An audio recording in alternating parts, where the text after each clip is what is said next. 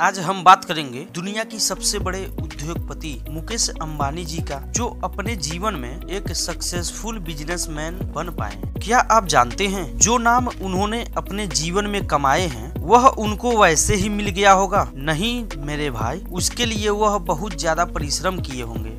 उन्होंने अपने एक इंटरव्यू में सक्सेसफुल बिजनेसमैन होने का सेवन बेहतरीन आदतों के बारे में बताए हैं। नंबर वन लक्ष्य कभी छोटा न रखें। मुकेश अंबानी जी ने बताए हैं कि हम अपना कभी भी छोटा लक्ष्य नहीं रखें। उन्हें हमेशा अपने आप पर विश्वास था कि लाइफ में वह कुछ बहुत बड़ा हासिल करेंगे और वे पूरे जुनून के साथ मेहनत किए और नतीजा आज हमारे सामने है। नंबर टू टीम वर्क पर विश्वास करें।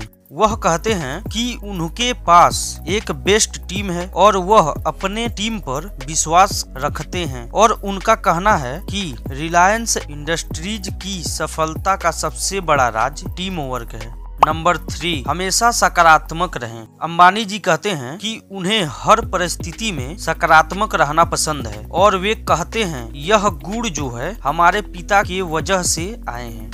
नंबर फोर, असफलता से न डरें। मुकेश अंबानी जी कहते हैं कि हम असफलता से डरते नहीं, बल्कि उससे सीखना पसंद करते हैं। शुरुआत में उनको असफलता का सामना करना पड़ा था, लेकिन वह असफलता से सीखते रहे और ज़िंदगी में आगे बढ़ते रहे। नंबर फाइव, रिस्क लेना ज़रूरी है। उन्होंने बताया है लाइफ में आगे बढ़ना है तो रिस्क लेना ज़रूरी है, क्योंकि जियो एक नया एक्सपीरियंस था। इससे पहले टेक्नोलॉजी के क्षेत्र में कोई भी कंपनी ऐसा कुछ नहीं किया था। नंबर सिक्स अगर आप मेहनत नहीं करोगे तो क्या पाओगे? अंबानी का मानना है कि मेहनत का कोई दूसरा विकल्प नहीं होता है। इसलिए आप जब तक अपने लक्ष्य को पूरा ना कर लो तब तक आपको दिन रात मेहनत करनी चाहिए। Number seven. दान करना ज़रूरी है। मुकेश अंबानी दान करने में विश्वास रखते हैं क्योंकि उनका मानना है कि अगर किसी के पास ज़रूरत से ज़्यादा है तो वह दूसरों के लिए है। इसलिए वह कई ट्रस्ट शुरू किए